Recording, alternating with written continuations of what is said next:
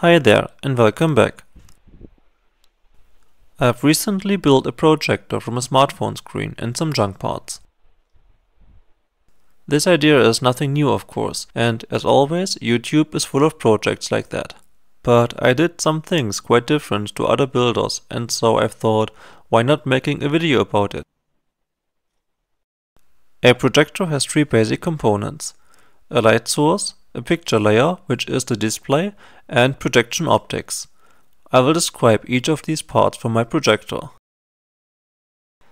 The light a projection light cannot just be a lamp behind the display, because the light must reach the optics from every point of that display. Typical projectors have a single point light source with a condenser lens that directs the light towards the display. This alone is not enough, because light that hits the edges of the display cannot reach the optics. Another condenser is needed to achieve roughly parallel light beams through the display. There's a video of Great Scott about his projector experiment that shows these two lenses, although he got the wrong type of Fresnel lens. Judged by the quality of the other stuff that he makes, it is hard to believe that he didn't know better. Maybe he did it on purpose, so that people can write funny comments under his video. I didn't have the right lamp or lenses for my build, and went another route for that reason. I made a strong surface lamp which is as large as the display itself. In my favorite cheapo shop I got 5 of these battery powered lamps that have two 1 watt LED strips inside. They are that cheap and funny enough as cheap as ordering the same light strips online. The lamps are terribly designed and force almost 1.5 watts through each strip with no cooling. I guess I should send one of these to the channel of bigclive.com and have him dismantle it and test whether it will catch fire or something. I attached 8 light strips to a large heatsink using plastic rivets that are made by heating up and pulling apart some q-tips. A diffuser salvaged from a broken LCD screen evens the light a bit. I also found this kind of light guide sheet in another broken LCD which can center light beams that come in at an angle. In the right distance to the LED strips, the light guide makes the gaps between my lamps disappear. I run all LED strips in serial on a 24 volt power supply with a small dropper resistor. This is not optimal because the resistors are a poor current control and usually the setup would need an electronic regulator but it works well enough without one because the 450 milliamps that go to the lamp let the power supply drop the voltage a little bit, which in return reduces the current. Using a lamp as large as the display is basically the tuned up version of all these stupid hacks, where a smartphone is simply put in a box behind a lens, or even more ridiculous things, to make a projector. This idea is even sold as a commercial product, sadly. This concept never actually works because phone backlights rarely pump out more than 500 milliwatts and are usually not bright enough. I made a simple test pattern for checking the picture quality of my projection. The projection looks pretty sharp in the center, but picture detail level goes down towards the edges because bright areas and colors basically bleed out towards the edge. The edge bleeding is a consequence of my light choice. Unlike a projection lamp that produces parallel light, my lamp emits light in a wide angle, so that each pixel gets light from different angles. I examined my lamp and found different things that I can improve. I checked the light guide sheet carefully again and found something interesting that I didn't notice before. Light that comes in at an angle is directed straight, which is good but light that comes in straight is actually blocked away and diverted heavily to the side, so a lot of light from my lamp actually doesn't arrive at the display. This gave me an idea. By cutting the sheet into stripes, I can divert angled light straight, while straight light goes through the gaps. This is basically doubling the intensity of the parallel light. A box around the lamp reflects slightly angled light back into the center. The modified lamp shines more even than the old setup and is also much brighter. The optics. A convex lens is needed as objective. I had this magnifier lens here which works but gives a bad warped picture. In a thrift store I got this old 200mm objective for 5 euros. It was slightly broken and so I didn't feel bad while dismantling it.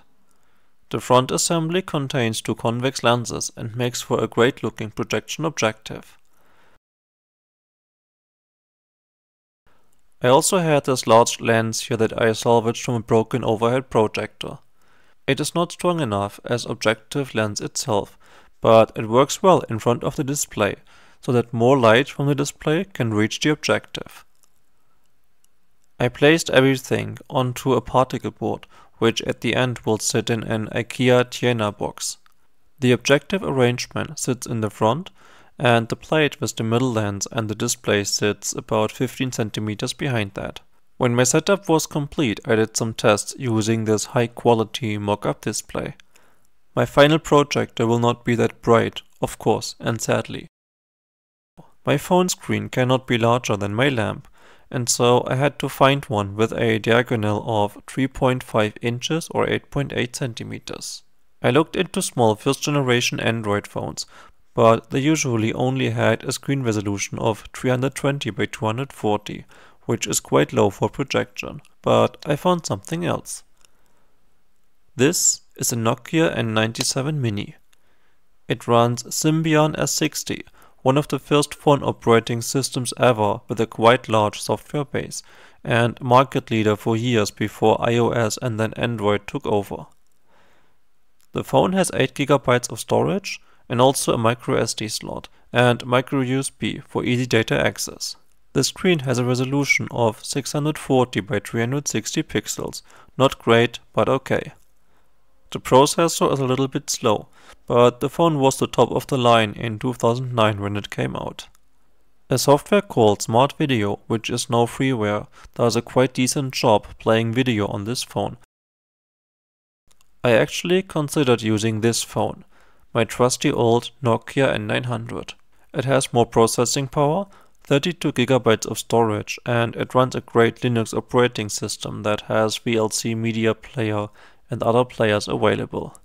The screen would be better as well. But these phones are rare gems nowadays, with Nokia having sold just a few millions worldwide. This one is in great shape too, so destroying it would really have broken my heart. On the other hand, I got the N97 for 10 euro on eBay. The phone has some issues as phone, but it works fine as media player, so my heart allows sacrificing it. In a first disassembly session, I took apart the phone, guided by the original Nokia disassembly guide. Then, in a tedious process that required bending the frame, heating up the display and carefully pushing glue out of the way, I managed to dismantle the display module. All I need is the panel. In a much more tedious process, I managed to get out the flat ribbon cable, which was glued onto the metal housing. It has numerous fragile SMD components and was a pain to get out.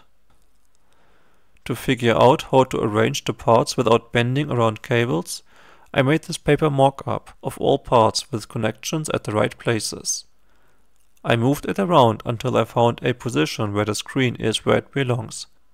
In my setup, the panel is upside down and the light passes from the front to the back. Otherwise, the picture on screen would be mirrored and flipped. I figured that I can place the touchscreen on top of my box. I don't need the keyboard to control the phone. Everything together. The switches get cables attached. The screen slides into this window here like a door and is carefully held in place. The fragile cable is held on the left side by some cardboard clamps, and the phone sits on the side at an angle so that the fragile cable is bent as little as possible. The right side of the cable plugs into the LCD and the left side into the touchscreen, which sits on top of the projector.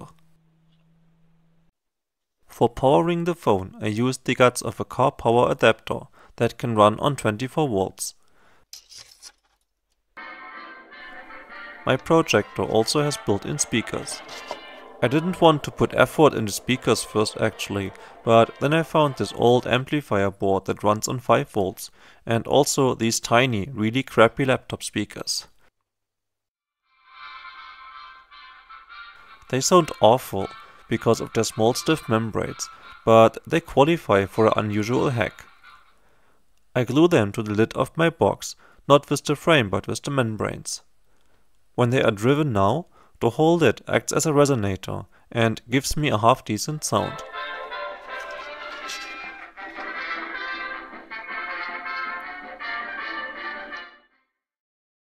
So, how does the picture look at the end?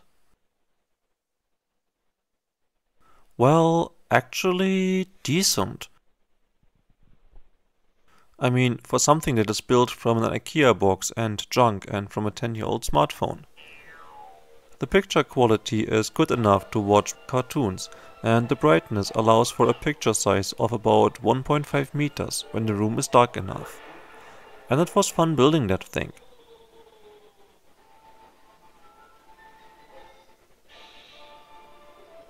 So long for now. See you next time.